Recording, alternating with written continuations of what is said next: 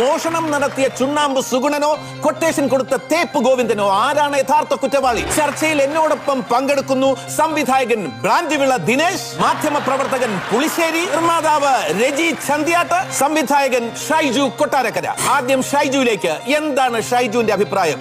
ആരാണ് യഥാർത്ഥ കുറ്റവാളി? അത് ചുണ്ണാമ്പ് സുഗുണൻ ഒരിക്കലും ജിമിക്കും കമ്മിലും മോഷ്ടിക്കില്ല എന്നുള്ള കാര്യത്തിന് എനിക്ക് വ്യക്തതയുണ്ട്. കാരണം ഡെയിലി വിവരേസിൽ വന്നിട്ട് ക്വാർട്ടറും അടിച്ചിട്ട് എഴഞ്ഞാണ് ചുണ്ണാമ്പ് സുഗുണൻ വീട്ടിലേക്ക് പോകുന്നത്. അപ്പൊ എഴഞ്ഞു പോകുന്ന ആൾ എങ്ങനെയാണ് കയറി ജിമിക്കും കമ്മിൽ മോഷ്ടിക്കുന്നു എന്ന് നിങ്ങൾ അത് സമർത്ഥിക്കുന്നു. ഞാൻ വ്യക്തമായിട്ട് പറഞ്ഞു കഴിഞ്ഞാൽ ട്വന്റി സെവൻ ബാർ ത്രീ അത് അതിൽ രേഖപ്പെടുത്തിയിരിക്കുന്നത് തന്നെ ഇപ്രകാരമാണ്.